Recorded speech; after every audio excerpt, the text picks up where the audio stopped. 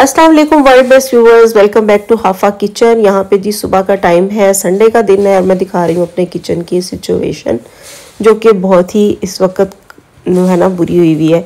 यहाँ पे आई थी मेरे पास सारी सब्ज़ियाँ पूरे वीक की, जो कि मैं ले आती हूँ संडे वाले दिन, और पूरा वीक फिर जो है ना ज़रा सुकून से गुजर जाता है। और नाश्ते के फ़ौर बाद ही ये सब्ज़ियाँ सुबह सुबह में ही आ जाती हैं, ताकि फिर जो है ना फ्रेश फ्रेश हमारे पास आ जाए।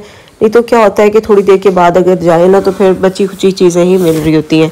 यहाँ पे गोश्त और चिकन भी आ गया था, और ये देखें जी मैंने किचन छोटा है तो मैंने दो जो है ना स्टैंड ऊपर लगाए हुए हैं ताकि बर्तन रखने में आसानी है और यहाँ पे एक बिल्ली का छोटा सा क्यूट सा बच्चा है जो मुझे रात को बारिश में, गली में क्यारी में मिला था। काफ़ी देर ऑब्ज़र्व करती रही मैं कि इसकी मदर इससे ले जाए, लेकिन कोई नहीं आया तो फिर मैं इसे अंदर ले आई। बहरहाल, एक दिन के बाद इसकी मदर आई थी, जो कि आके फिर इसको ले गई थी।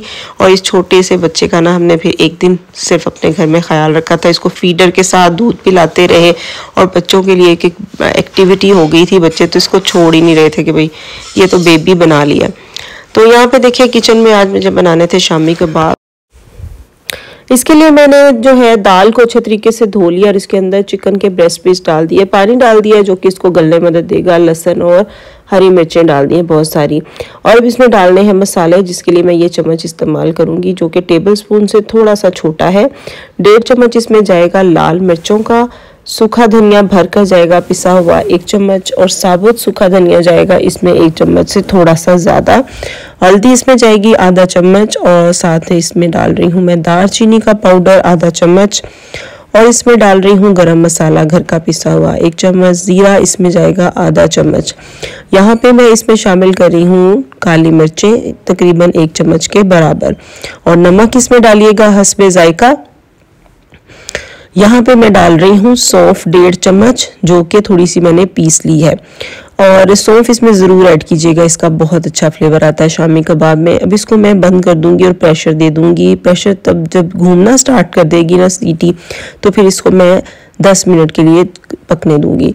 यहाँ दूसरी पतीली में मैंने चिकन का ब्रेस्ट पीस ले लिया है और इसके अंदर डाल दिए हैं लहसन फ्रेश छीला हुआ और इससे मैं क्या बनाने जा रही हूँ? चिकन स्प्रेड होम में चिकन स्प्रेड बनाएँगे और इसको हम फ्रीज कर सकते हैं 20 से 25 दिन के लिए। अपने घर में बहुत सस्ती बन जाती है और बहुत ज़्यादा अच्छी बाज़ार से बनती है। और इसके अंदर डाल दी है मैंने हरी मिर्चें। नमक इसमें मैंने डाल दिया है जी, एक टीस्पून के बराबर। काली मिर्चें तकरीबन डेढ़ टीस्पून बराबर डाल दी हैं और इसमें डाल रही हूँ कुटी हुई लाल मिर्चें, क्योंकि मुझे इसको थोड़ा सा फ्लेवरफुल बनाना है। बहुत फीका सा नहीं बनाना, ठीक है? और अब इसमें मैं डालने जा रही हूँ पानी एक ग्लास। हमने इसको, पानी को बिल्कुल ड्राई कर देना है, जिसमें चिकन भी गल जाएगा और पानी भी ड्राई हो जाएगा। मीडियम टू लो फ्लेम पे मैंने इसको रख दिया था। यहाँ दूसरी साइड पे देखें, दाल और चिकन गल गए थे। पानी अच्छा सा ड्राई कर लिया मैंने और मैंने इसको पीस लिया। इस मटीरियल को इसके अंदर मैंने डाल दिया धनिया और पुदीना बारीक कटा हुआ। अब इस मोल्ड की मदद से मैं कबाब बना लूँगी फटाफट से सारे और इसको मैं फ्रीज़ कर दूँगी। दो महीने भी ये कबाब फ्रिज में पड़े रहना, इन्हें कुछ भी नहीं होता। अच्छा मैंने आपको दाल की और चिकन की क्वांटिटी जो है ना वो बतानी थी। ये जो मेरे पास चिकन है, तकरीबन डेढ़ के जी था बोनलेस और जो दाल है, वो मैंने ली थी तीन पाव। आप चाहें तो दाल एक किलो भी ले सकते हैं। यहाँ पे देखें, इसी तरह से सारे कबाब बना के मैं फ्रीज़ कर दूँगी। दूसरी साइड पे जो चिकन स्प्रेड बनाने के लिए मैंने चिकन रखा था, वो भी गल चुका था। इसको छोटे पीसेस में मैंने कर दिया है। पानी देखे, सारा ड्राई हो चुका है। हल्का हल्का सा रह भी जाए तो कोई इशू नहीं है, जैसे इसमें आपको नज़र आ रहा है। मतलब थोड़ा थोड़ा सा मसालों के साथ ना है, लेकिन बहुत ज़्यादा नहीं होना चाहिए। तो अब क्या करनी है हैंड ब्लेंडर से मैंने इस चिकन को अच्छे तरीके से मैश कर लिया और अब इसके अंदर डाल दी है मायोनीज़ बहुत सारी। मायोनीज़ हमने इतनी डालनी है कि चिकन सारा इसमें कोट हो जाए और बहुत ज़्यादा भी ना डरे और बहुत थोड़ी सी भी नहीं। ड्राई नहीं रहना चाहिए चिकन अब इसे अच्छे तरीके से मिक्स करना है और इसके अंदर डाल देना है थोड़ा सा लहसन पाउडर थोड़ा सा चिकन पाउडर और नमक चेक कर लेंगे हम इस स्टेज पे और थोड़ा सा चिली सॉस भी मैंने इसके अंदर ऐड कर दिया था। मैं क्या करती हूँ कि इस तरह से बना के इसे फ्रिज में रख देती हूँ। अभी ये बहुत हार्ड फॉर्म में है। इस तरह से मैं इसको खाती नहीं हूँ। जब मुझे खाना होता है तो मैं एक और सॉस तैयार करती हूँ। जैसे उसमें मैं डालती हूँ थोड़ी सी शिमला मिर्च, खीरा गाजर बंद गोभी और फिर केचप और मायोनीज डाल के एक अच्छा सा डिप तैयार कर लेती हूँ और उसके अंदर फिर मैं इसको मिक्स कर देती हूँ। फिर ये थोड़ा सा रनी सा हो जाता है और फिर ब्रेड पे जब लगाते हैं तो बहुत मज़े का लगता है। आने वाली वीडियोस में मैं इंशाल्लाह आपको दिखाऊँगी कि मैं इसे ब्रेड पे लगाते हुए फिर इसमें और क्या क्या एडिशन करती हूँ।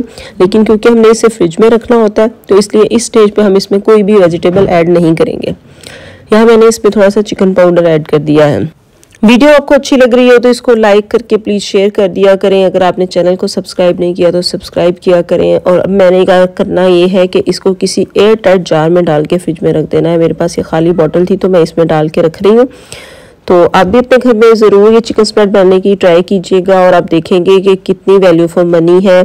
थोड़े से पैसों में इतना सारा चिकन स्प्रेड बन जाता है और जो कि बहुत मुफीद रहता है ख़ास तौर पे जब सुबह नाश्ते में फटाफट से कुछ समझ ना आ रही हो तो ये सैंडविचेस पर लगा के हम बासानी खा सकते हैं, जो कि हेल्थ के पॉइंट ऑफ़ व्यू से बहुत अच्छा है। तो फिर मिलती हूँ अगली वीडियो में। अल्लाह हाफिज़।